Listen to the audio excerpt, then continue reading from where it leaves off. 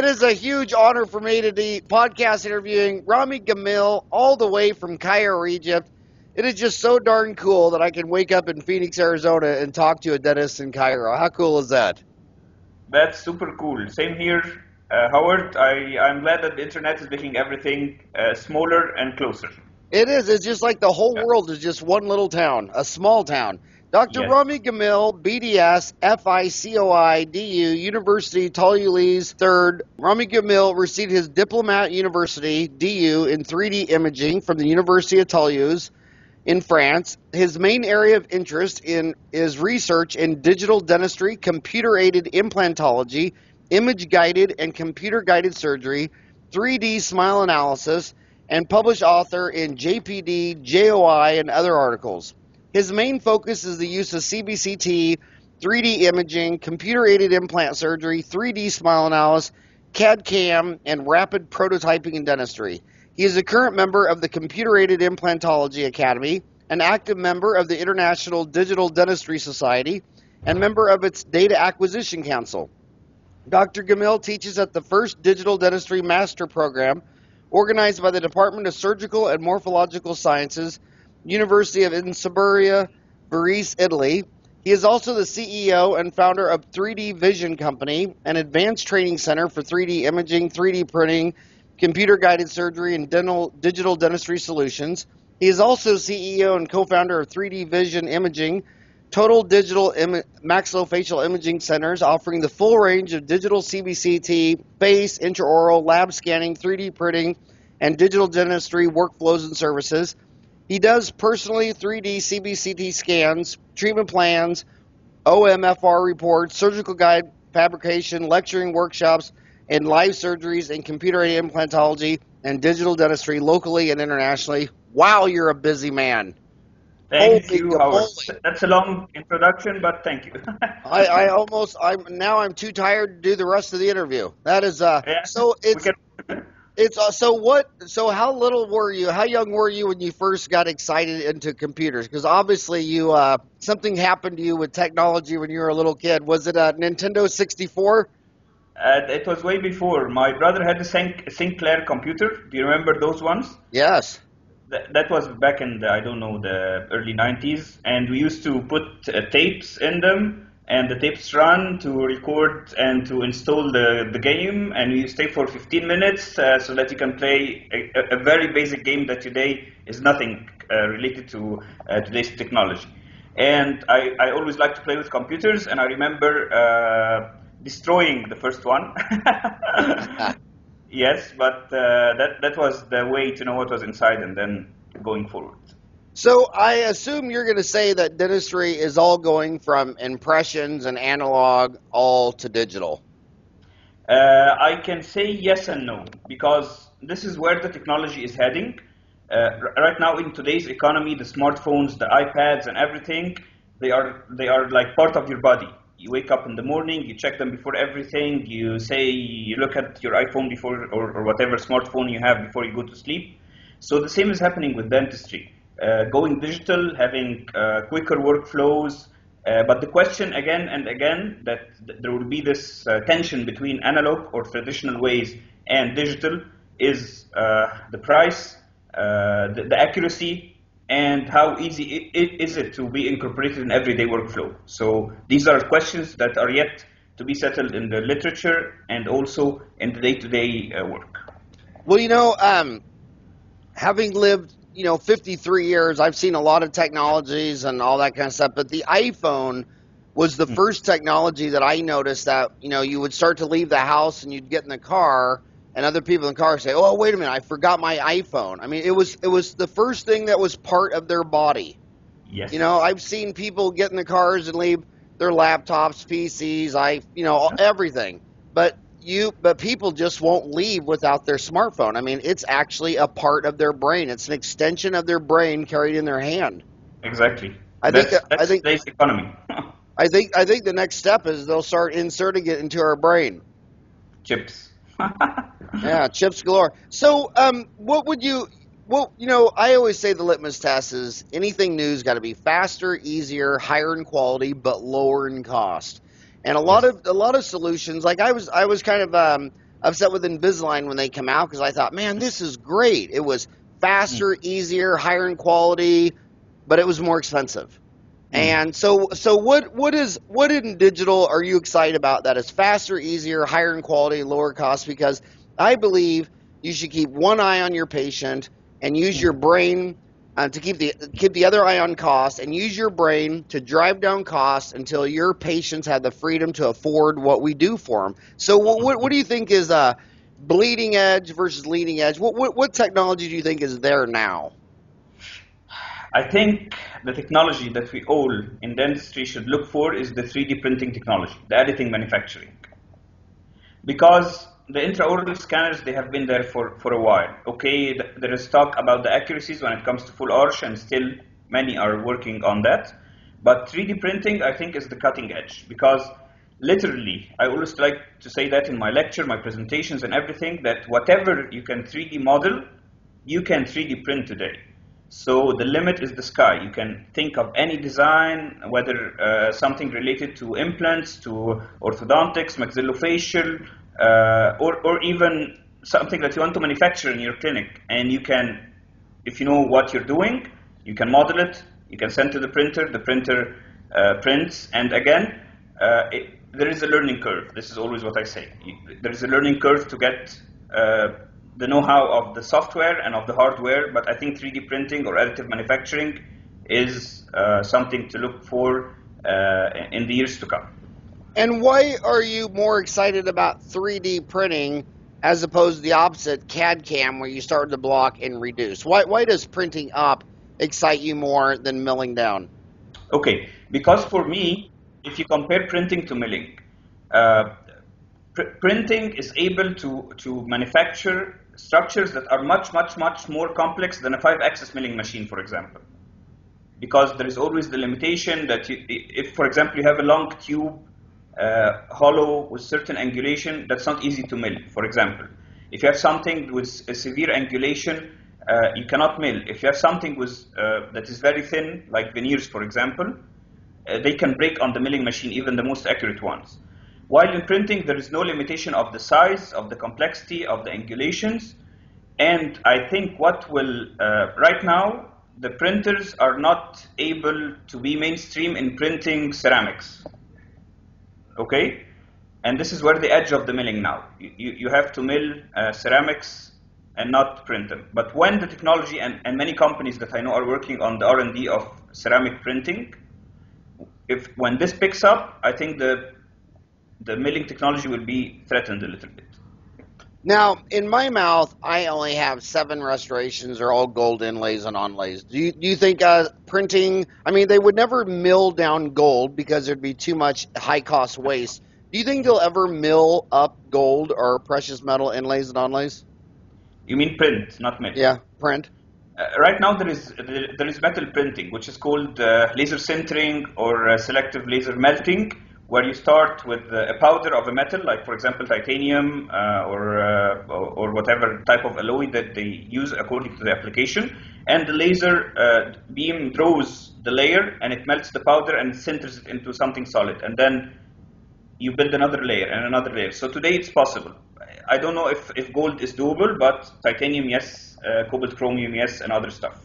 Well, you know, I always thought when you're, um, you know, you remove a tooth and then Yeah. we have to take a drill bit to make a hole to fit our implant. I always wondered if someday we'll pull the tooth, scan it, and then and then print out a titanium exact replacement, whether it be for a hip, a joint, a knee, and then put in a titanium that was exactly the same three-dimensional shape as the tooth, the hip, the knee. Do you think that's uh, around the corner? That, that happened already. like there are many papers and research on customized uh, laser sinter titanium implants where uh, you just scan even the patient before extraction. You segment, or what you mean by segment is separate. You take virtually the root out of the bone and you uh, design your implant. You add, for example, an abutment on top, or how do you want to, your emergent pro- profile to look great. And then you send to the laser sintering machine, and it manufactures it. And then, if you want to do some surface treatment, and then it goes inside the patient by tapping. So this was the limitation a little bit. Not many people like the tapping versus uh, screwing. So it's It happened. Does it need improvement? Yes. Uh, is it mainstream? Not yet. So, so what? Um, what three? If someone is listening to you and said Yeah. they wanted to, uh, they wanted to buy a 3D printer, what what names or brands? What what what do you think is? Uh, what would you recommend? Okay, uh, 3D printing, uh, you have uh, from the needle to the rocket, like we say in Egypt. This is uh, what we call. So there are very expensive, high-end industrial machines that are, have uh, high accuracy, different range of uh, printing material, and then you have simpler ones that can be uh, as low as 1,000, 2,000, 3,000 US dollars. Me personally, I, I use several. I, I used to use an industrial or a mid-range machine, which is EnvisionTEC from Germany. Uh, it's it's a very good, very accurate one, and it was used for jewelry first. So for me, uh, it's it's much more accurate than what's in the market now. Uh, recently, a lot of patents of the main companies have ended, so another other players are going inside the, the market. Uh, what is good, what is bad in printing? I always say don't ever buy a printer from what the seller gives you uh, in a catalog, for example, or tells you that the resolution is, is that or this or that. You have to test yourself, you have to uh, send the company samples, make sure that this is printed on that machine, and when you're satisfied, so this is a good printer. Because the printing, if not uh, uh, reliable, if not repeatable, it's going to be a mess and you won't like it. And then people start and say, okay, I'll go back to the conventional ways. You know, um, a lot of dentists in the United States are afraid that dentistry is going uh, corporate. You know, instead of owning your own office, you're working for a chain. They, they have right now 12 to 14 percent of the dentists work for a chain. But Mhm. when we look at the, uh, there's only 211,000 dentists in the United States. When we look at the 1 million physicians, what drove group practice was all these expensive MRIs and CAT scans and ultrasounds. Um, Mm. So, do you, do you think to maintain um, solo practicing dentists that we should uh, just use uh, a lab? Because if a dentist has to buy a printer, a CBCT, a CAD cam, then then that's forcing group practice. I mean, you can't really buy all that stuff and practice by yourself, Yes. can you? Yes. You, you know, Howard, uh, it depends, from what I've seen around the world, it depends on the country where you are practicing. Because in some economies, doctors can't afford to have the CBCT, the intraoral scanners, the CAD cam, the printers, the sintering ovens, and everything in one place, and they can have the production that can pay that back somehow or another. In other economies, in other countries, uh, uh, who cannot afford, usually the model is uh, someone doing a center like, like we are doing, and other refer. They outsource. They don't need to have all the equipment. They can have one part of the chain or, or two or three, uh, but we offer the, fu- the full solution. So you, you can send us for CBCT scan, intraoral scan, uh, uh, designing whatever appliance you want uh, uh, for implants, surgical guides. We, we offer the whole solution. A smile design, for example, with photography, or today we use 3D, 3D face scans, which I believe is an improvement for smile design also. Uh, not just using the re- regular 2D photographs and all their limitation, and that's a big subject today. Uh, and, and I'm going to lecture about that in, uh, in NYU with Dental XP soon also. Yeah. Um, I got to ask you another question that young kids, you know, the, the, um, a lot of dentists are saying, uh, Rami, is buying a printer or a CBCT or a CAD cam, is it kind of like buying an iPhone? I mean, nobody, nobody wants to keep their iPhone more than five years because then the new model is so much better. I, is it kind of silly to buy a CBCT where you're locked in on a 10 year lease, or, or are you thinking in your head, well, I'll buy this and I'll own it for 20 years when the truth of the matter is, I mean, do, you- do you think a lot of these fancy toys are kind of outdated in five years, like an iPhone? Uh, for cone beam CT scanners, I think not big changes have happened in the last 10 years. Uh, some minor changes, so the, their lifespan is a little big. How, Uh, how long do you think the lifespan of a CBCT would be? Uh, 10 years. 10 Five years? to- Okay. Yeah, 5 to 10. Okay. What about a CAD cam? Uh, a CAD cam, uh, I would say in the current economy, I would give it two years. From one IDS to another, that's what I call it, because One IDS to another. I love it. I know you're on top of the game when you may, when you say that. Explain But, your but viewers again, what that but again, people people that I know have CAD cams that have been more than that. They can still function. But if you wanted another edge, something newer, so that's two years. So what um, Rami just said, if you're not on a, an international uh, lecture scene, is that the biggest meeting in Europe is uh, every other year. It's two years apart. It's in Cologne, Germany, and Yes. there's no other meeting in the entire world like it. I mean, you literally, literally, literally have over a hundred thousand dentists from every country on earth, and a lot of the big companies they all plan their product launches for the IDS meeting. So Yes. they, they, they at the IDS meeting in Cologne, which you have to go. I think Cologne, Germany, is one of the coolest cities in the world. It was it was the farthest western outpost of the Roman Empire, and they still have Roman walls around there. But all the companies are telling you about their new product, and then they're listening to all the Ramis of the world, uh, and then they're going to go back, and they got two years to do what you asked for. Mhm. So so uh, from one IDS cycle to another. Uh, I call I, I never miss an IDS, and I call it the World Cup. You cannot miss the World Cup. Now the World Cup's every four years, right? yeah, but in dentistry it's two. But in dentistry, it's, uh, so the World Cup in dentistry is the IDS, and it's every two years. By the way, I didn't understand that saying you said. You said um, in your country they say from the needle to the rocket. What's the needle? What's that mean? Yes. The needle to the rocket. it, it means that y- th- there is a big spectrum. Starting from you, you can own a needle and, and use it, till you can own a rocket and everything that's in between. Rocket is top of the technology. Needle is something very basic, uh, basic, uh, not expensive, and everything in between. This is what this uh, uh, saying means. You got it? Since, since you said rocket, I have to ask you one completely batshit crazy question about your country. that at least, I would say, at least a quarter of the Americans, seriously, I, I've seen this in polls, believe that the pyramid technology was from aliens. What would you say to the American? And a lot of dentists are conspiracy believers. What would you say? And they have all this proof that you know that uh, they still don't know how to make them today. It, wa- it was alien. What would you say to a dentist who uh, asked you, "Did aliens help build those pyramids?" I tell him uh, you've been watching uh, a good bunch of sci-fi movies. Good. That's number one. And uh, number two, uh, there are other evidences that say that they can be built. And since we don't know, uh, that's being scientific. If we don't know, we don't claim. You have to prove the other way. So both arguments have their uh, pros and cons, and no- none of them is 100% for sure. But I don't think aliens did it because uh, I think that they were very advanced at that time. That's well, what would be? What I mean, you're a smart guy and you live in Cairo. What What is your best guess on how they uh, stacked those rocks that high? What What What is your best guess on that?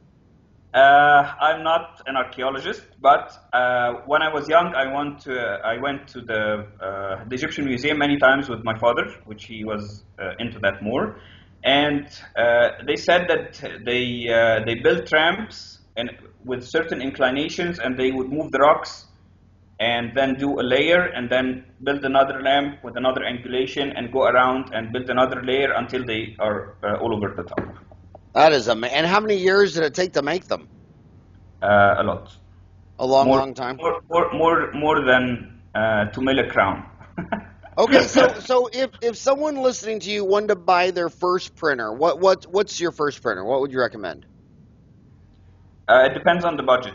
For me, uh, I would go for because I, I'm production center. I have uh, b- big uh, numbers to, to, to, to, to give to my customers. So I need something that is uh, won't jam, uh, quick, accurate range of printing that is a lot. So for me, I would advise uh, the EnvisionTEC or something in that rate. If you have a EnvisionTEC is I N. EnvisionTEC is it I N Envision with an I or Envision with an E? with an E. oh with an Envision. E? Envision Tech is from Germany. Okay, That's and, what that's what I use. and what uh, did I that think- cost you? I bought it uh, two years ago. It was around fifty thousand euros. Fifty thousand euros. And how long do you think that's going to last? Uh, for me, it's a power horse. It will last a while. The technology now will offer other cheaper standards. So if I want to get other ones, it's okay. I can get cheaper ones. Uh, but for me, this will be like the main uh, center of my production. But I mean, you you think it's going to last ten years? Uh, no, How many years do you think it'll last? five. Five. Okay. And then um, talk about intraoral scanning. Um, you know, Yeah. on on the one hand, you got this. Uh, you know, I've been, I've been using 3M's. Uh, at, well, it used to be ESPE Impregum, then 3M bought it, but I've been using Impregum since 1984. You weren't even Yeah. born in '84, were you? well, what year I were you born? was, I was, I was one year. You were one year old, so I I, uh, I started using Impregum in celebration of Rami's birthday, and um, you know, so so the good thing about that is, you know, what what does an impression cost? 13, 14, 15 bucks total. But at 53, what I like about my oral scanner is with 53 year old eyes, I like seeing the impression up on the screen 40 times larger. But if you're, uh, you know, if you're um, a kid, you know, if you're under 30 and your eyes still work, so what's the, um, what do you, what do you think the, the explain what do you think the trade off is between an impression with uh, polyvinyl siloxane or Impregum versus buying a scanner, and what scanner would you buy and why? Okay, I would say the following, and this is what I noticed lately when when people uh, over talk about digital dentistry. You need, like everything else, to go the conventional way first. That's my opinion. If you're still learning, Uh, you need to learn manual, rot- uh, endodontic, in my in my mind, and then you go to the rotary and everything like that. So you need to uh, Uh, know how to do proper preparations first, how to do retraction, how to take regular impressions, because this is what you're building here, and, and this is going to transfer from analog to digital. If you go to digital and you don't have this built, you're having good tools, but you're getting very, very bad results. So you need to have this in your mind first. So regular impressions are still there, and they can still be used when there are limitations of the scanners. For example, today there is the big debate of using the intraoral scanners for full arch, whether uh, to, to match a model in guided surgery or uh, to do uh, full arch restorations over implants or full arch bridge, for example. Some companies say that our scanner is there, it can do it. And uh, others claim, and when you try them, it doesn't work. For me, I don't have a final answer yet. I need to have a, a, a workflow that, that has both. I need to be able to take conventional impressions when the, the, the, the scanner doesn't work well. But for me, the edge of the scanner is uh, uh, speed, and I would put again a, note, a side note here. Because at the beginning, when you buy an intraoral scanner, it's not going to be faster than your impression. You will be having a new tool in your hand. You need to know how to use it, how to do proper retraction of the soft tissues, especially when you're working lower, the tongue, and everything. It's not going to be as easy as it is shown in commercials. So at first, there is the learning curve. And after you gain speed, you need to be able to know the scanning strategy of the scanner because if you do it in the wrong way, you will get, again, bad results. Garbage in, garbage out, same as everything in computers. So uh, I would like to use an intraoral scanner and have also, I won't throw my impression material away because there will be some instances when I'll need to take an impression conventionally, especially when it comes uh, to full arch uh, implant restorations. And what uh, intraoral scanner would you buy? Uh, today, you are asking me questions that will make a little bit that uh, will go to like advertising, but I, no, I, no, I, I, I, I don't, I don't, um, I don't see it as advertising. I don't see it as advertising because I, um, the, the, the people listen to this, they always send me emails, howard at dentaltown.com. And one of my biggest complaints is that um, they're not mentioning brands or names. And what I see with the internet is uh, what, when I started Dental Town in 1998, the mission was that no dentist would ever have to practice solo again. And they would rather hear it from you because you're you you're absolutely the number one rock star uh, from Egypt. I mean, everybody that I know from the in that whole region, um, all, all the way down. I mean, the whole northern Africa, the Middle East. You're you're the man, and they really want to know exactly what you're thinking. And let me and let me before you answer it, let me say one thing about commercials. Um, Hmm. These companies hire MBAs, Masters in Business Administration, and I got an MBA.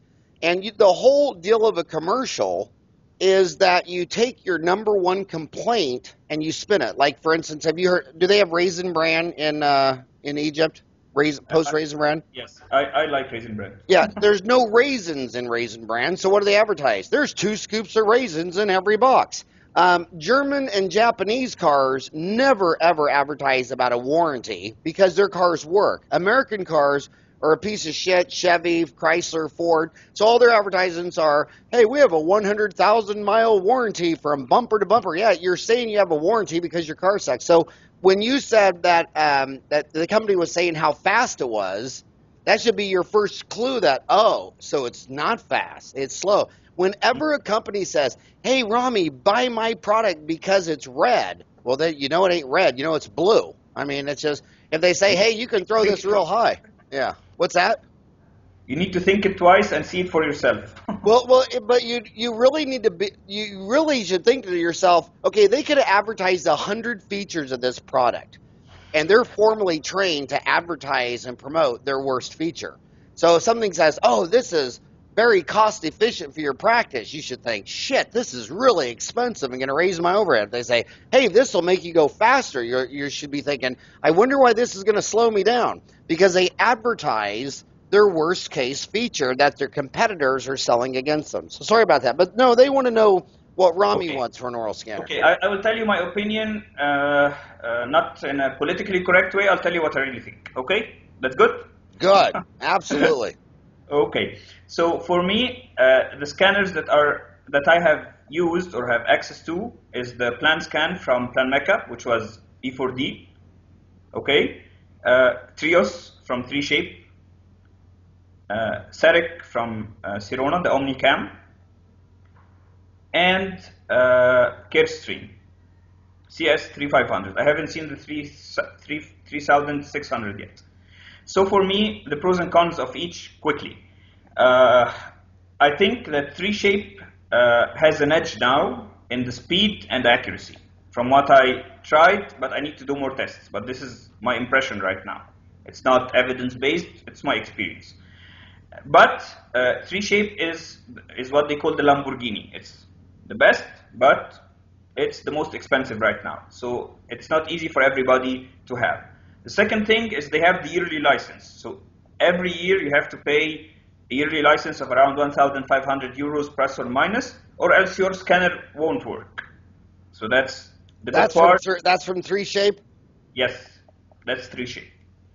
If we go to uh, Sirona, the OmniCam is uh, a very good uh, scanner that has been there for years, but uh, there is the closed system. Recently, they started to have options where you can export the STLs, but again, it needs to be quicker than that to catch up with what everybody else is doing. Uh, if we go to Carestream, Carestream takes more or less still shots, the one that I saw, the 3500. They say the newer one has improved. I haven't seen it personally. Uh, so it's a bit slow uh, and heavy in my hands. Uh, PlanScan has improved a lot. I saw the, the earlier versions of it, which was like very, very slow and very hard, and uh, it couldn't remember its uh, position easily. right now, it has it became faster in my hands. Um, they, they, are releasing a color tip also, and the price is, is, is good, and annual license is not uh, there, in, in my region at least. I don't know if it's like that in the US or Europe. Uh, but I'm still have questions related when I scan full arch with it. So this is my experience with each scanner. Now, doesn't 3M ESPE have one also? Yes, uh, 3M has one. It's called True Definition. But I haven't used 3M. I have friends uh, that lecture about it, that use it. Uh, I, I, saw that it's black and white, I'm not sure if it takes powder or not, and that's something. When you, when you choose a scanner, you need to check. Does it do live video streaming? I, I, I like the live video streaming ones. Uh, does it use powder or not? I like the powder-free ones. Uh, does it scan in color? That's not a big deal for me, but okay, that might be an edge for the patient. He would like to see his teeth in color. For me, I need, need to be accurate more than to be colored. Uh, is it open or not? Uh, easily export the STL or any design uh, on it. That's very important uh, part for me. Uh, the price and the annual license. Uh, these are how we choose your scanner, in my opinion. What about um um? What what about maintenance? Are are a lot of these breaking down or needing a lot of maintenance? Do you, do you, are some cheaper because they? I mean, like like if you're an American, you, you you know if you buy a car from Japan or Germany, it's going to work. If you buy it from the United States, it needs to come with a full time mechanic. Um, have you have you noticed any issues on the uh, the long term costs because of uh, high maintenance, or they have uh, warranties, or the, the tips of the scanners, uh, sometimes if you sterilize them and not uh, in, a, in a good way, they lose. They are mirrors in the end. So uh, by time if they lose their reflection, you need to replace them. So that's one part that you need to replace and need to maintain well. Uh, the cables and the connections. The more you have cables and connections, again, like everything, like your iPhone charger. Like uh, I have an issue with the scanner that I have right now with the cable, and it needs to go back to the mother company to be changed. So it happens. And you know that, that that's a big part of it. I mean, even in some in an old technology like a, a machine gun, the Russian AK-47 only has three moving parts, and the American M16 has four moving parts. Just that extra moving part means a 25% extra breakdown, and around the world, everyone would still prefer uh, an AK-47. Um, I, I have, agree. I, I, have four boys, so we have uh, at least three or four of those in the house, just just, just just for fun.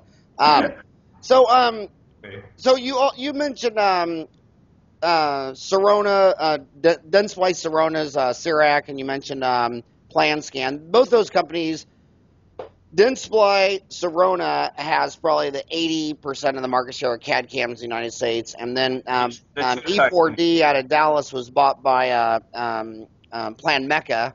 Uh, out of Yes. Helsinki, Finland. Uh, what, what do you think of CAD cam in general? Because a lot, and what I mean by this, well, I mean, there's a lot of kids coming out of school in America. They're three hundred and fifty thousand dollars in debt. So they open up this practice, and these machines are big bucks. And they're sitting there thinking, you know, should I should I just take an impression, send it to the lab? And you said when you're starting out, you need to you need to perfect the analog. You need to perfect preps Yes. and temporaries and impressions. Yes. You need to get your basics down. It's like like you need to play acoustic guitar before you get to electric guitar.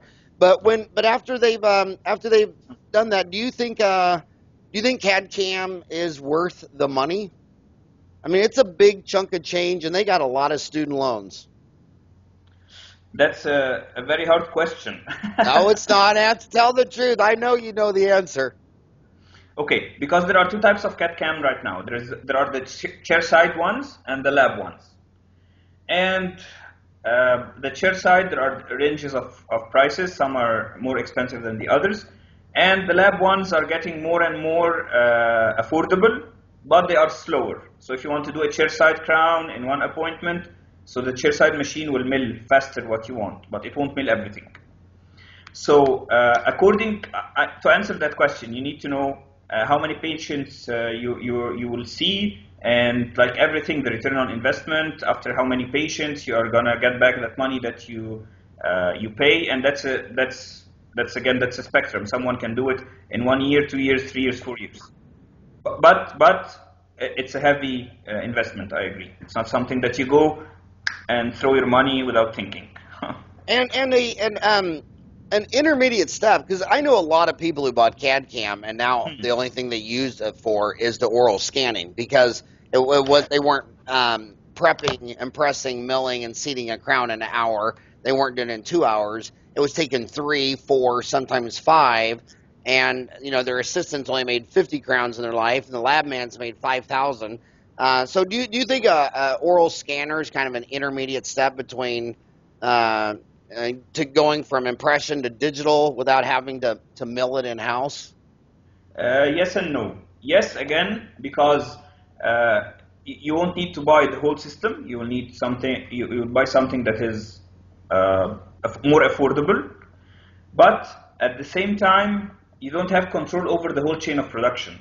So whenever this is what I saw, whenever an error happens, the clinician blames the lab, and the lab blames the clinician. Like same with regular impression. He tells him, "You didn't send me a correct impression," and the other guy he said he didn't do a good work. So if you have the whole production, that's an edge. Okay, it needs extra personnel, uh, and you need to know what you're doing from A to Z, but you'll have control over the final product that you get in your office. If you send it to a lab, there will be trial and error. You need to, to try this person and the other one and see if, if, if he works well with you, he understands you, and this needs a very good communication, in my opinion.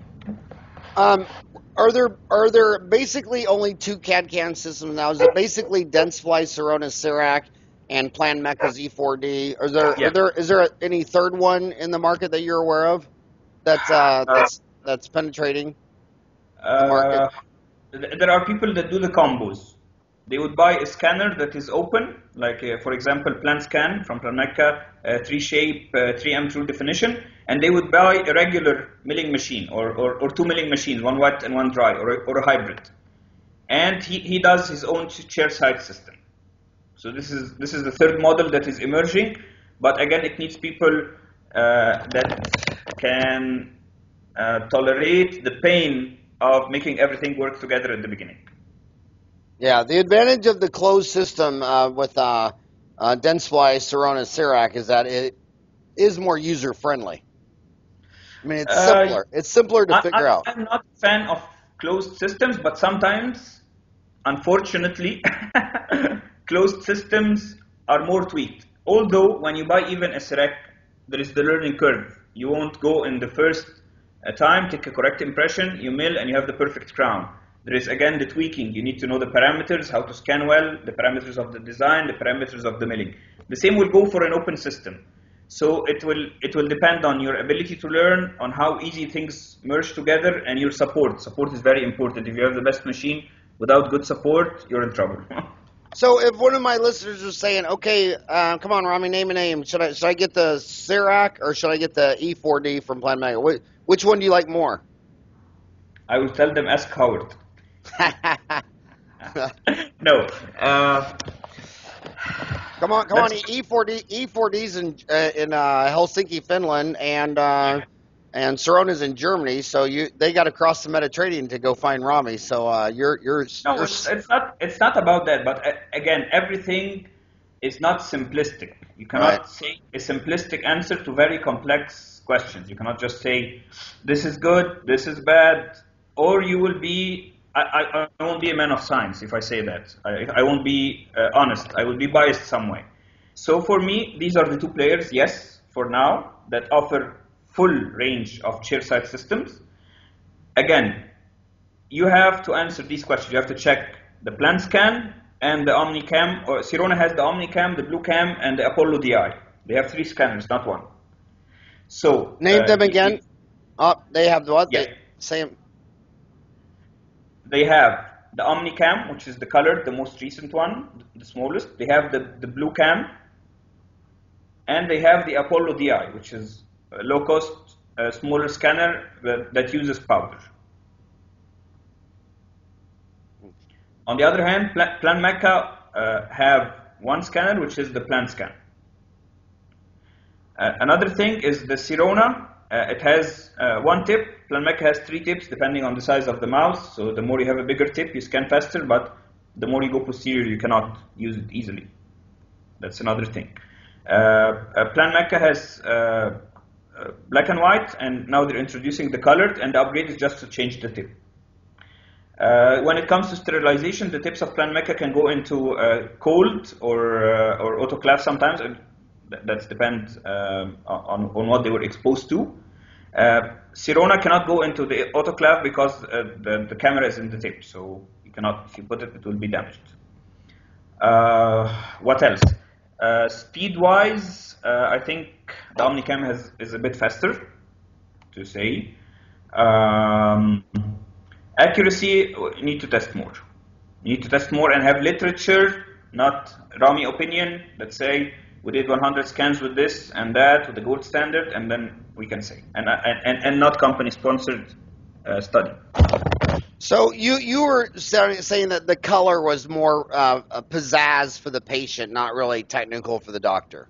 Uh, sometimes it helps you to detect the margin well because it shows you where is the soft tissue. But I'm a man of open system. I use hu- yeah, like a lot of software, a lot of scanners, a lot of stuff. So I need everything to move from with fluidity from one place to another. So uh, the STL is not colored. You see, the STL is a file format for the, the, the, the 3D object that is not colored. It doesn't have color embedded into it. Uh, PLY, for example, is another file extension that has the color. OBJ for the face scans, for example, the 3D face scan, where I can scan Howard and see him in 3D, and I can make Howard smile. And and uh, you know, for smile design, for example, we, we take the photos, but sometimes it's not easy to take them accurately. So the 3D scan can help to move and, and measure accurately more than photos, for example, and that's something we're working on right now. Uh, so uh, for me, the color uh, is not a very important thing. For others, yes. And some scanners like 3Shape, they can detect the shade, for example, uh, electronically. Maybe and and you uh, and and tell us why you do or do not like powder. You said you don't like powder. Why? Talk about that. Okay, powder is an extra layer that you put on top of your tooth or abutment or whatever. So uh, the more you spray, the more you add layer. The more you add thickness, the more you add inaccuracy in your final seating. That's one thing. Second thing is uh, powder uh, is, is some many times very hard to remove from the mouth. So it's it's not something very user friendly, and especially when it mixes with saliva. And some powders are very messy to move out. So th- these are two uh, disadvantages that I don't like uh, powder for. Although, to be again uh, correct and to the point, any scanner, in order to scan something reflective, like for example brackets, uh, metal abutment, it needs to be sprayed, even the non-powder ones. If you don't uh, mask the reflectivity of that object, it, it won't appear even with the powder-free uh, scanners. So, Rami, in the United States, uh, I was part of the baby boom generation from 1945 to 1965. So, when you look at the distribution of the population, that that was the big. It was kind of like a snake swallowing a rabbit. You know, it was the big lump. And they're retiring now at 10,000 per day are retiring, and so dental implants are exploding. And then yes. and then the baby boomers, uh, we were responsible for uh, kind of going from uh, gold and silver fillings to tooth colored bleaching, bonding, veneers. We were the cosmetic revolution, and that's kind of coming down. Implants mm. is going up on the end, and then and then we actually America starting in 2007 is starting what we call an echo boom. There were four and a half million babies born in 2007. So so pedi- so in America, pediatric dentistry is exploding on the on on the left, and implants is exploding on the right, and the mm. cosmetic stuff in the middle is coming down. And so mm. a lot of these um, kids are um, very stressful about implant systems because when they go to Cologne, there's like 175 implant systems. And then, Rami, and then here's the other uh, very confusing things for the kids. Um, everybody in America who's placed 10,000 implants, they see a surgical guide as something that, you know, like training wheels on a bicycle. So they're like, yeah. I've, I've done 10,000, I've never used a surgical guide. Grow mm. up and learn surgery. You got a tooth in front, a tooth behind you got a buccal, lingual. If you can't figure, you know, blah blah blah. But then the young kids are like, um, you know, they like technology. They see the CBCT. They talk about surgical guides. So, um, so tell tell us this. Um, yeah. What implant system do you like? What what do you think they need to be computer guided? Do you, do you like uh, surgical guides? Do you like uh, CBCT treatment plan? Just start rating all that because I see your stuff on Facebook. You are a you are a unicorn. You really are. I mean, you're you've got to be the most amazing dentist in all of Egypt. And Ken Serota thinks you walk on water. You know Ken Serota? Uh, Ken, yes, Ken. Yeah, I mean, a lot of my friends they just uh, they just think you're the most amazing. So, so with all that rant, um, there are there are many, many, many, many good dentists in Egypt. So I am I'm glad that we are uh, we, we are showing this to the world. There are many people that I work with. A lot of what I do is teamwork from people from other specialties, and there are very top notch international level dentists where I live. So it's not just me. I am the fruit of the work of many around me. Well, I hope you get you and all those guys to start putting some online courses on Dentaltown. We um we put up um we got 217,000 dentists. It's 81% American. Um, and we've put up, I think, 350 courses, and they've been viewed over 600,000 times. And Americans love anybody with an accent. Uh, mm-hmm. so uh, it would be it would be so fun because most of all the implant stuff on Dentaltown it's all Americans and it's uh, yeah. it's 81% Americans, 19% all yeah. the rest of the countries. But but it would be such an honor if you or any of your uh, Egyptian implant uh, gurus create an online CE course for us. But but what? But talk about surgical guides, CBCT. Yes, that's a topic close to my heart. A topic where I spent a lot of study and work on it. So that's a good question, and I am uh, ready to answer that. okay. So uh, for me, let's take it uh, one step at a time. Today, doing implants without cone beam CT, that's something that uh, I don't know the, the debate of the standard of care in the US, is it there or not? But from my experience, cone beam CT is very important even for single implants. And there are a lot of consensus papers that advise that too. So you need to have the cross section. If you don't have the third dimension, you are gambling a lot. And uh, from thousands and thousands of CBCTs that I saw, uh, a lot of stuff happened that we don't know that they happened, or the, the, the bad stuff appears with time. So cone beam CT is very important. You have to have a modality that shows you the third dimension so that you can assess the width of bone, irregularities in anatomy. Every patient uh, is very specific, and the anatomy can be very deceiving if you judge it only from 2D. So that's one part. So without cone beam, you are messing with your patients. If I'm a patient, I would never let a doctor do to me an implant without a cone beam. That's me. Okay? Uh, let's take it another notch. Uh, virtual treatment planning for implants. It's very important because I need to have the teeth in the equation because at the end of the day, if I'm a patient and patients come because they want a tooth, they don't want an implant in bone. So I need to have what we call the prosthetically driven implant placement. We need to see where the crowns will be and accordingly uh, design our implants to give the best immersion, aesthetics, functions, so that our patients are happy.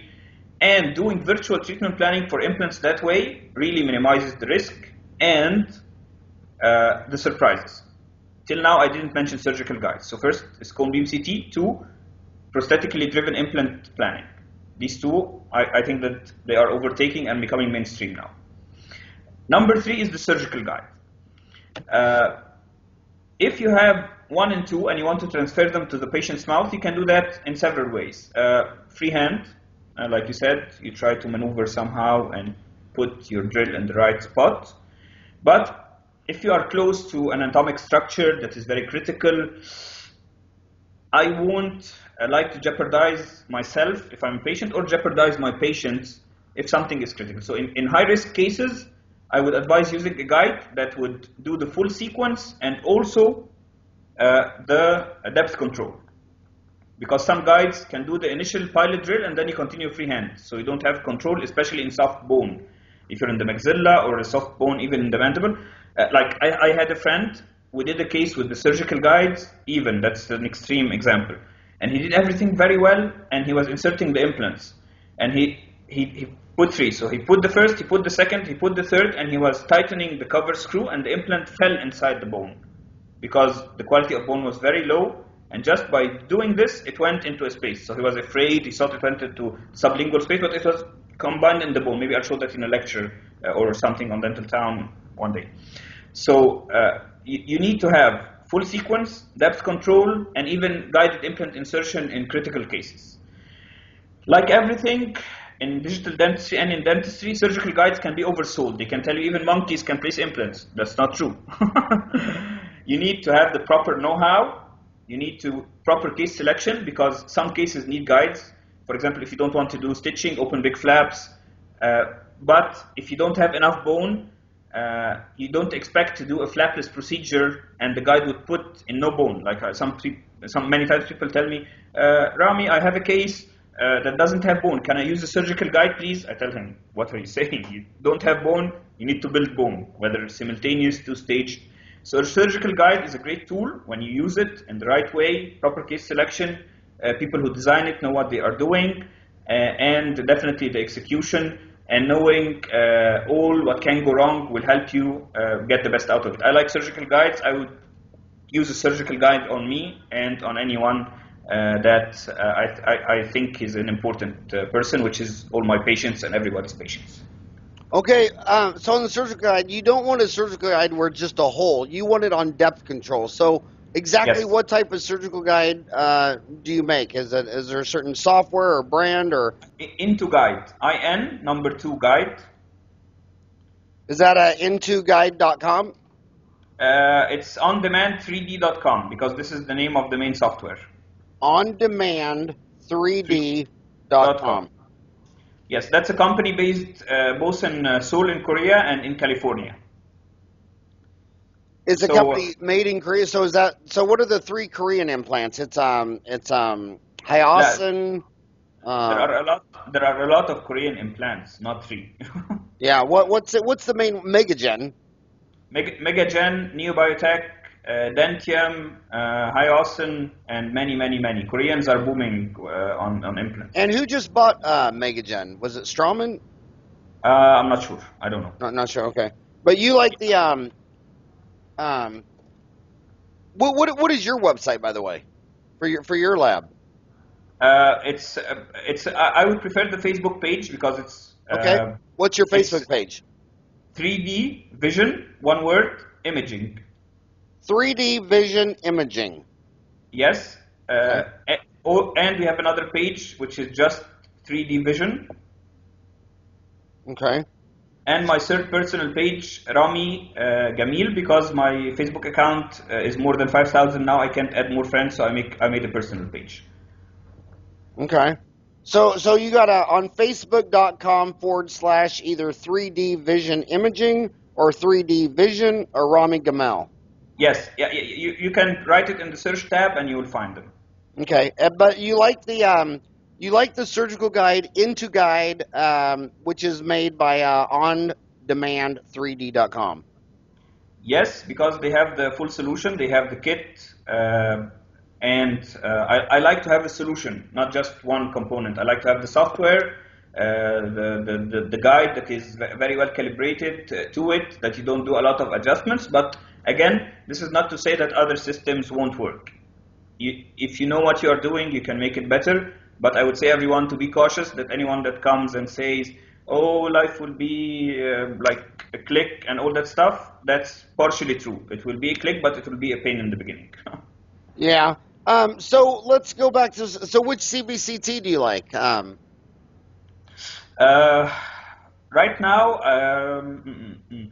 I like to use uh, Planmeca because there's a, I like the resolution and their artifact removal is very good when it comes to uh, uh, when there is metal in the scans.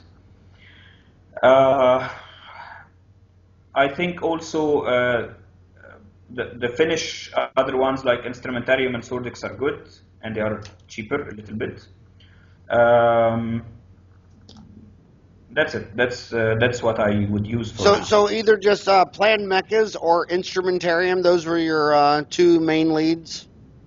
Yes, and uh, iCat is good, but it's just dedicated cone beam CT. I like to have the three in one: the the the cone beam and the Ceph and the OPG, the panorama.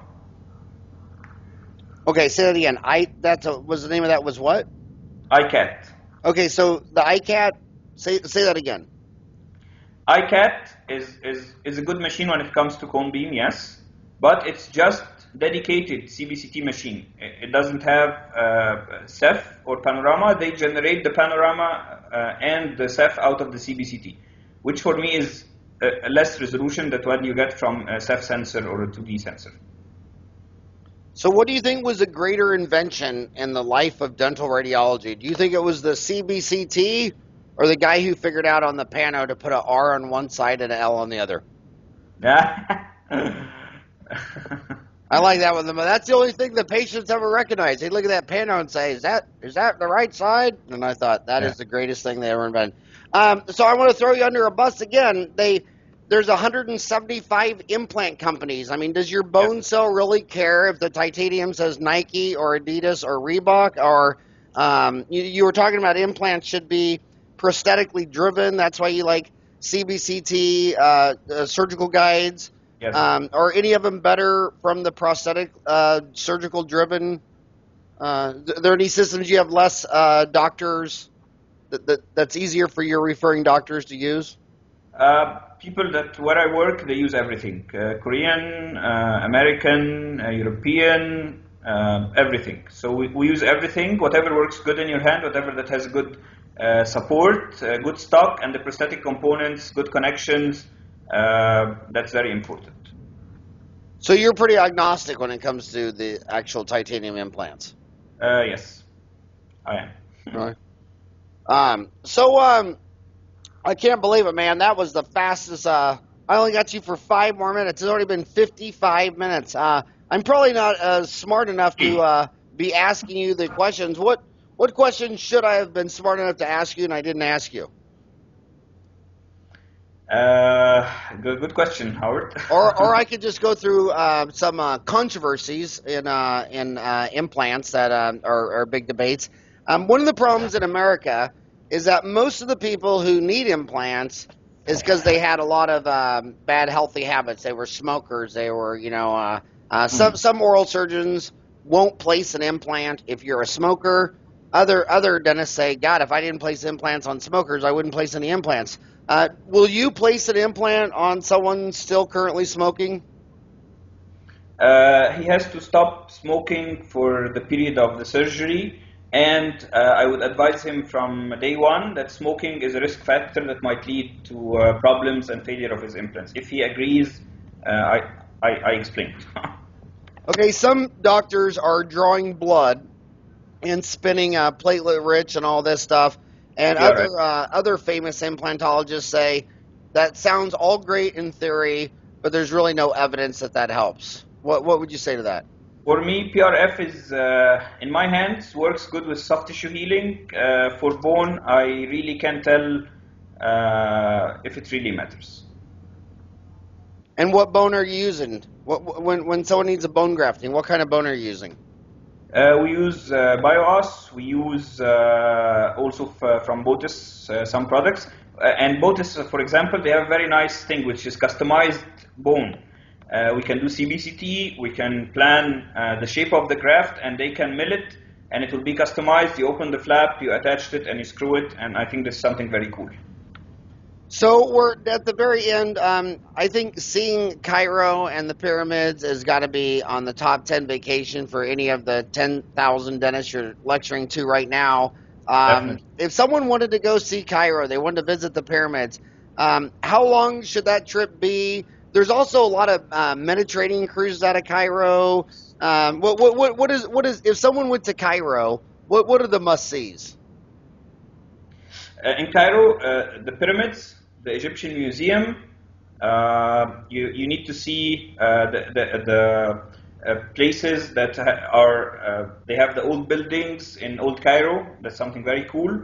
Um, in, in Egypt in general, Upper Egypt is, is magnificent. Luxor and Aswan with the temples, and the weather in winter is amazing. It's very sunny.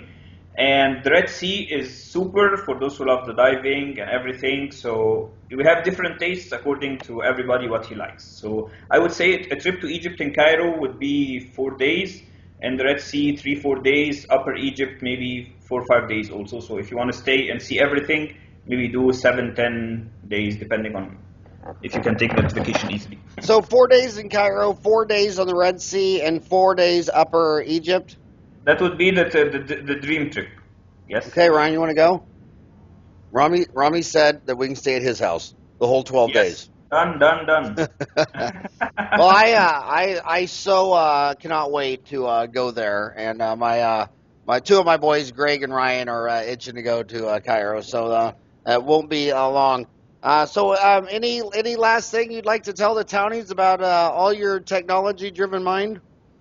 Uh, I would love to stay in touch with everybody. My email is uh, Rami, R A M I, Gamil, G A M I L, at 3dvsolutions.com. Uh, Facebook is easier to connect also. If you have any questions, please send me. Let's share cases. Let's do things together. Uh, let's join hands to do programs uh, that make digital dentistry uh, more uh, doable in every parts of the world. I'll be in Chile in August in, uh, in, um, the 7th to 9th. We're doing a digital dentistry course. I'll be at New York University the, the 13th. Uh, I'll be in Romania uh, in October, so would love to see uh, many, many more friends and colleagues and do more digital cool stuff together. And definitely everybody's welcome in Cairo. We had a very nice conference called the IDF, the International Dental Forum. We did it uh, in in uh, in uh, June. It was very good, and the next version will be super, and we will uh, love to have you with us. You mean the internet, the IDF, the Internet Forum Group? Would they? No, no, no, no. I, I have a very good doctor. That's a very good friend. Uh, he is uh, a lit- he's older than me. So when I told him the IDF, he told me the IDF, the forum on the internet. This is where I learned and shared and did a lot of stuff. But many of the people there either died or we don't do it anymore. So I told him, no, that's a different thing. But it was interesting that you mentioned. yeah, the the, founder of that um, Dentaltown and IDF were both started in Phoenix, and the guy's name was uh, Dave Dodell, and it was an it was an email uh, server exchange, and now he's a teacher at a Midwestern Dental School. But it was uh, one of the first. Uh, it, it was the first robust email internet dental forum. There, I used to be on there. There were thousands of dentists. impact, What? the impact of it reached Egypt. That's the story of one that is one of the very top dentists uh, in, in the older generation that time that I learned a lot of. So he really liked that forum. He learned a lot uh, from it. And uh, uh, we, we are trying to push more education at 3dVision, whether as a training center or a cone beam center or a digital dentistry center, and we invite people to come and learn and share. So uh, I, I love online sharing, live sharing, everything, making the world smaller and going faster and growing together. Well, hey, we uh, we passed one hour, but uh, I forgot one question. Can I ask you an overtime question? Uh, for you, I would do anything. Yes. Oh, um, smile design. Do, do you think Yes. technology is um, is really necessary in smile design? Uh, you're doing veneers, cosmetic work, all that stuff. What what, what are your thoughts on smile thank, you, design? thank, thank, thank you, Howard. Three thank yous for that question. Really? okay. Yes.